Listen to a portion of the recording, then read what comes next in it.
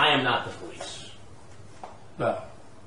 but I am Chris Hansen with Dateline NBC, and we're doing a story on computer predators. ah, well, you better. I'll shove that camera down his I don't think you're going to want to do that. Why is that? I don't think you'll want to do it now. It's the motherfucking Eagle Double G. Snoop Dogg.